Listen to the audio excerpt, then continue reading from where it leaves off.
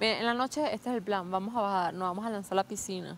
Sí, Después nos ponemos así, nos abrigamos y nos Y hacemos las unas salchichitas. con Sí. así una fogata. eso. Mañana El día de hoy, en la casa de los famosos, Aleska comete un grave error y es que ella ya está prediciendo que regresará mañana. Tanto así que menciona que una vez que los seis bajen de esas escaleras, lo primero que van a hacer es aventarse a la alberca, los seis juntos, para después cenar y salir a la fogata a quemar algunas salchichitas y echar chismecito. Con lo cual, es un error el planear lo que va a hacer el día de mañana, ya que no sabe la decisión del público. No puede pronosticar que, ah, ok, vamos a regresar.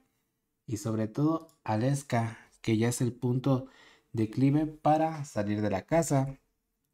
Por lo cual, estuvieron hablando acerca de Cristina, de que es una persona falsa que solamente quiere sacarles información para llevarla a tierra y que de este modo se sienta querida o sea utilizada por ellos. ¿Para qué?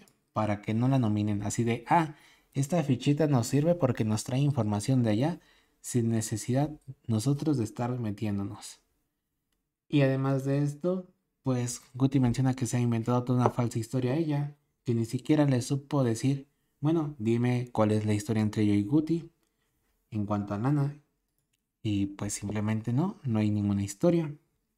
Bueno, Aleska cree que va a regresar, a pesar de que ella le fueron a gritar que no, que la van a sacar, a pesar de que se dio cuenta como la propia producción le quitó la cámara y enfocó hacia otro lado cuando ella estaba hablando y estaba hablando con su team malas, pues simplemente no le prestaron atención.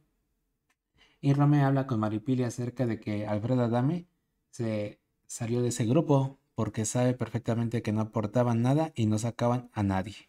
Por eso Alfredo Adame se hizo independiente. Y además vemos cómo Maripili nuevamente está ahí seduciendo a Romé, hablando acerca de sus manos y por qué no usa guantes cuando hace ejercicio, mencionando a él que su piel ya se acostumbró. Bueno, recuerda que el día de mañana sale Aresca, así que se va a quedar con cara de pato cuando vea que sí, planeó por adelantado. De mi parte sería todo, nos veremos en un próximo video.